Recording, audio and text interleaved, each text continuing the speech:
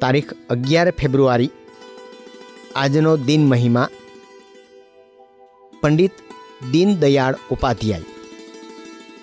ભારતીય જનસંઘની બૌદ્ધિક મૂડી સમાન, દીનદયાળ ઉપાધ્યાયનો જન્મ ઈસવીસન ઓગણીસો ને સોળમાં ઉત્તર પ્રદેશના ફરહ નામના ગામમાં થયો હતો.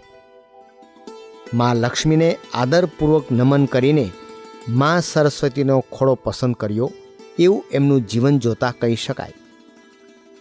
કોલેજ કાળમાં સાવ સ્વાભાવિકતાથી જ પરીક્ષા આપી આવે અને પહેલો નંબર લાવે. દરમિયાન તેમનો સંપર્ક રાષ્ટ્રીય સેવક સંઘ સાથે થયો અને તેઓ સંઘના મંત્રી બન્યા.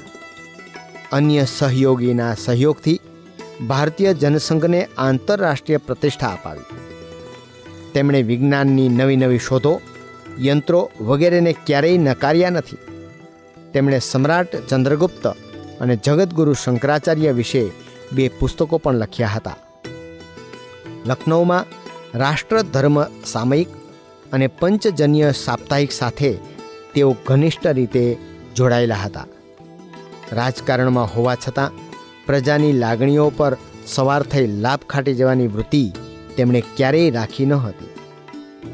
ભારતીય જનસંઘના વાર્ષિક અધિવેશનમાં એમણે આપેલું અધ્યક્ષીય પ્રવચન કલ્પનોત્તેજક દસ્તાવેજ સમૂહ હતું.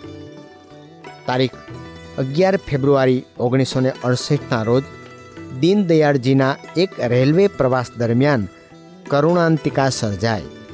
એ ટ્રેનમાં અંધારી રાતે શું થયું તે રહસ્ય આજ સુધી ઉકેલાયું નથી. સમાજ માટે જીવતા એક જીવનનો અચાનક જ કરુણ અંત આવ્યો.